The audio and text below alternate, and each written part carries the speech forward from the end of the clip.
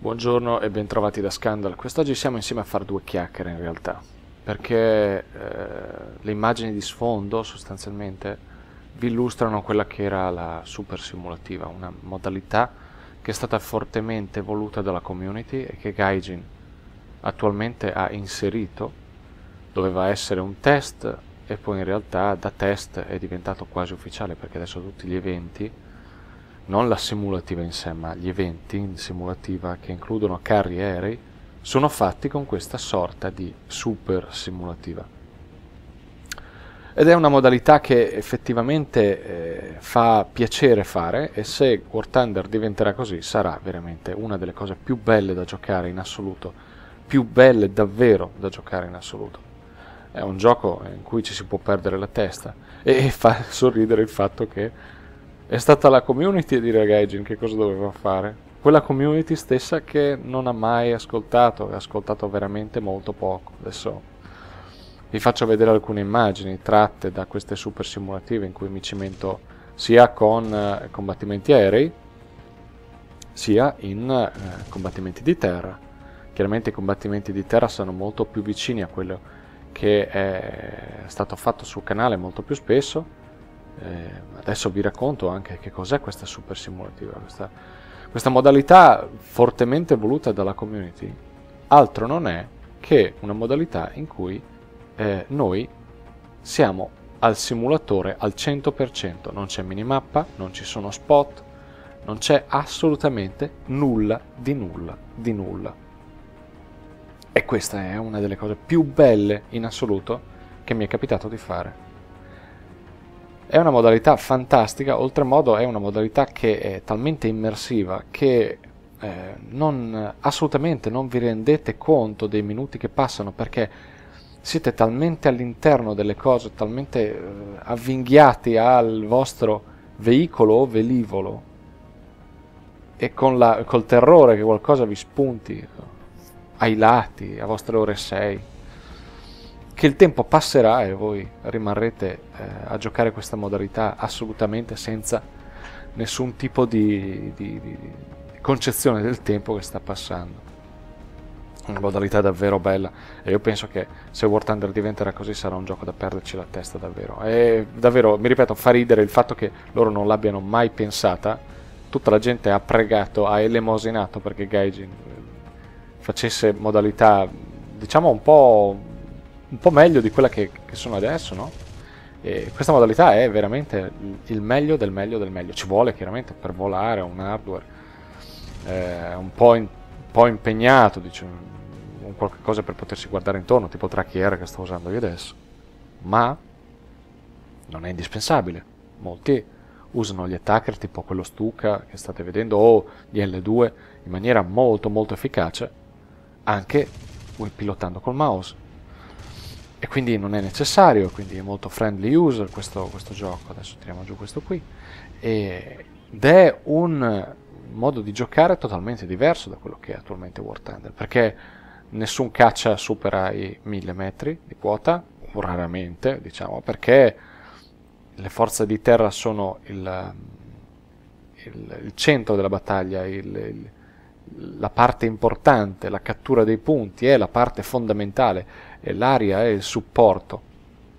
Quindi si avvalorano gli attacker, quindi si avvalorano anche le AAA, quindi le artiglierie mobili, quindi il Kugelblitz, il Coelian, o il, non so, quali altre, insomma, non mi ricordo quelle, Wilberwind, Lostwind, tutte quelle tedesche me le ricordo, le altre non me le ricordo e adesso abbiamo finito le immagini sul, sul, sui velivoli adesso siamo sui veicoli. I veicoli sono fottutamente belli, scusate il, il termine. È fottutamente bello andare sui veicoli. Ma perché?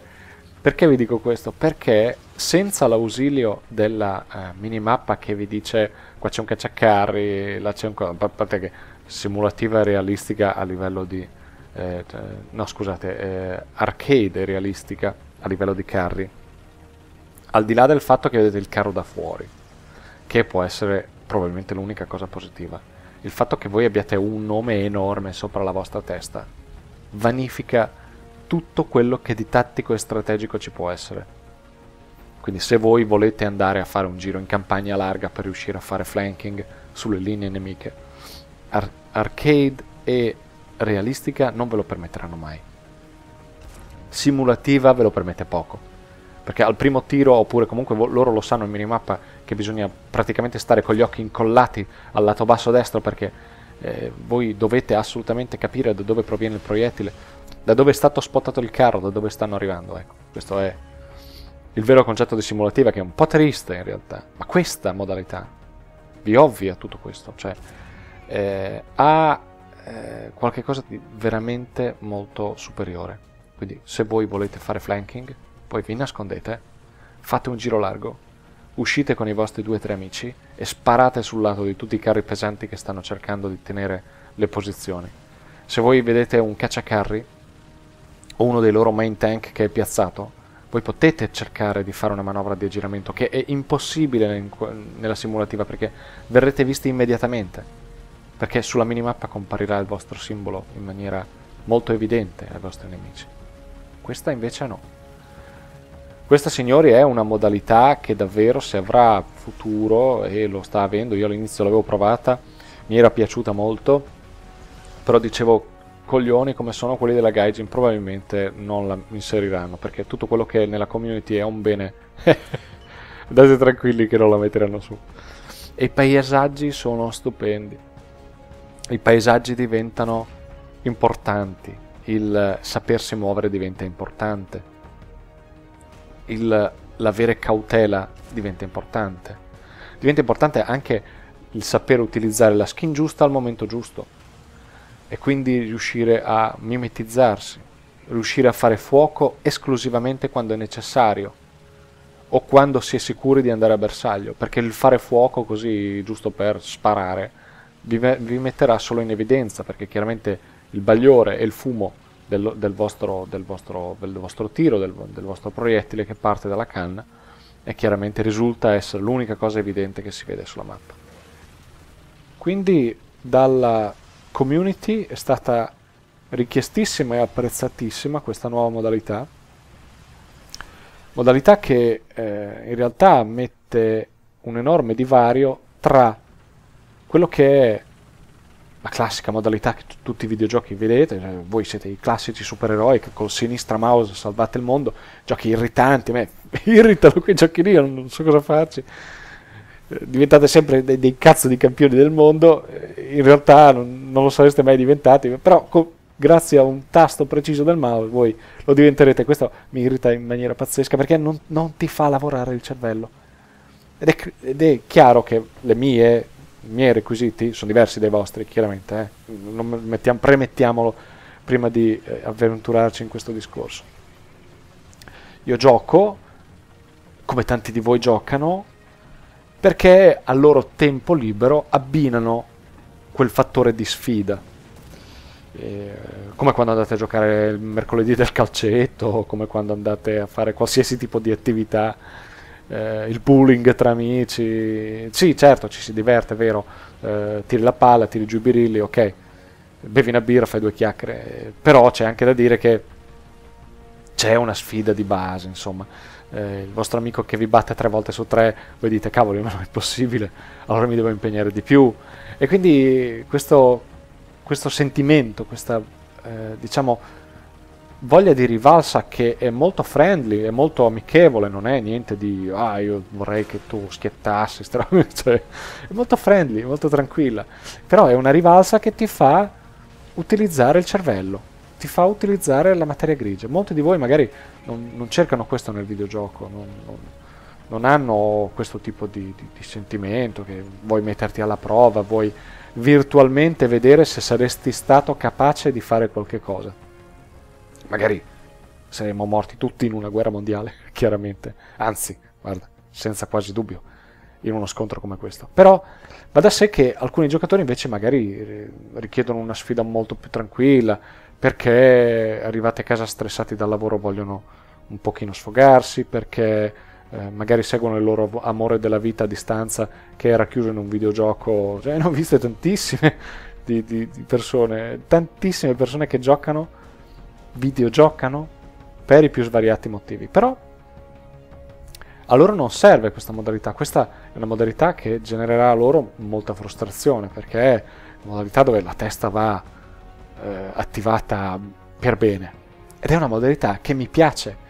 Mi piace perché ti fa, ti fa riattivare quei tre neuroni che ti sono rimasti, che che il mondo di oggi ti ha fatto rimanere perché oramai tutti ti dicono tutto, come comportarti, cosa dire, che corsi fare, che profumo mettere, oramai non c'è più nulla di sconosciuto, il mercato conosce tutto, conosce talmente tutto che eh, mettendo, googlando le cose addirittura tu dopo un po' ti ritrovi gli spot anche su per il sedere perché dici cazzo ma, ma, non era quello che avevo cercato ieri ma perché mi compare in tutti i banner che io voglio un autoradio uno zaino un corso parauniversitario e questa roba ti irrita in maniera particolare.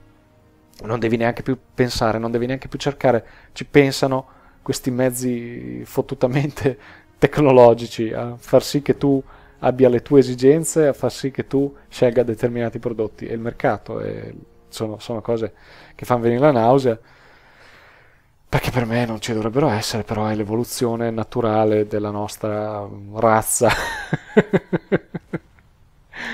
Ma torniamo su queste cose. Scusate se poi ho, io, io ogni divago, io non, non, non, voglio togliere niente a nessuno. Probabilmente voi avrete delle opinioni totalmente diverse dalle mie, quindi rispetto anche le vostre, tranquilli. E questa modalità è una modalità che davvero a gran voce adesso le software house si stanno impegnando a fare sempre software più per i podotati piuttosto che eh, software che si possano eh, caratterizzare per la eh, estrema capacità di mettere in sfida due giocatori, due o tre giocatori. Ci sono, eh, chiaramente i videogiochi, però molto poco, fanno molto poco fatturato e allora si predilige il fatturato, il, il denaro a quello che potrebbe essere un qualche cosa per migliorare un po' tutti. E questo è un po' da, dà di per sé anche un po' di nausea, eh, perché in realtà eh, diciamo che avvalorare la quantità sulla qualità è, secondo me è sempre un peccato. Peccato perché molti di noi invece vogliono una sfida interessante, molti di voi eh, non la vogliono, ma eh, questa è una di quelle modalità che valorizza sicuramente l'aspetto tattico, non tanto strategico. Strategico dal punto di vista che devi scegliere i veicoli giusti, i velivoli giusti, con la tua squadra, può finalmente dare un senso alla squadra e alcuni scenari tipo questo che vedete adesso, qui pioveva, e quindi la stessa mappa con gli stessi velivoli veniva affrontata in maniera totalmente diversa, ma sapete perché?